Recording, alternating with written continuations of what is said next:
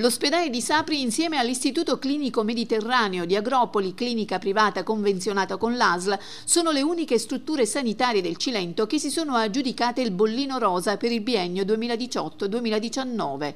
Sono stati conferiti martedì scorso presso la sede del Ministero della Salute da ONDA, l'Osservatorio Nazionale sulla Salute della Donna, che dal 2007 attribuisce lo speciale bollino alle strutture che si distinguono per l'offerta di servizi dedicati alla prevenzione, diagnosi diagnosi e cura delle principali malattie delle donne.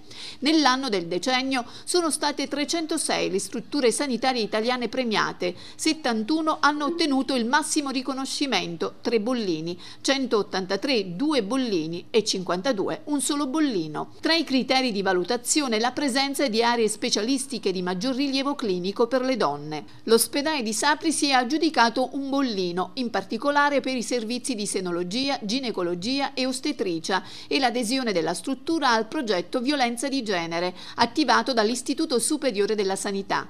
A ritirare il riconoscimento conferito al presidio dell'Immacolata sono stati il primario della rianimazione Giuseppe Di Vita e il referente per il bollino rosa Gerardo Gallo. Due i bollini rosa conferiti alla clinica privata Mediterraneo di Agropoli. In Basilicata lo speciale riconoscimento è stato assegnato a due strutture pubbliche, l'ospedale San Carlo di Potenza e il centro oncologico di Rio Nero in Vulture. Ad entrambe sono stati assegnati due bollini. Quando Onda ha iniziato la premiazione dei servizi sanitari a tutela delle donne, nel 2007 erano 44 gli ospedali bollini rosa. A 10 anni di distanza sono saliti a 306, a dimostrazione che la sanità pubblica ha iniziato a dare maggiore attenzione alle malattie delle donne.